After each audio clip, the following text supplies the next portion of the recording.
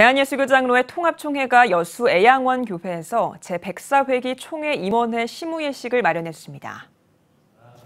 일부 예배에서 설교를 전한 예장 통합총회장 김태영 목사는 손양원 목사의 삶과 죽음은 하나의 이벤트가 아니라 살아 움직이는 주님의 정신이라며 한국교회가 손양원 목사의 정신을 계승해서 세상의 수치를 받지 않고 거룩한 성전을 재건하는 현장에 서 있길 바란다고 전했습니다.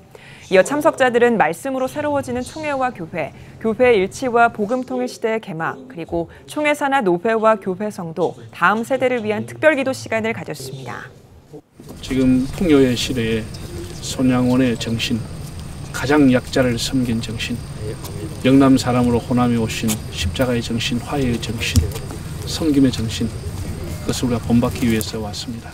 우리 온 성도들이 손양원 정신으로 산다고 하면 한국교회가 새로워지리라고 확신합니다. 임원회 출범식에서 순교자 손양원 목사 사랑의 열매탑 헌화식을 통해 손양원 목사의 사랑과 영성으로 섬기는 임원회가 될 것을 다짐했습니다.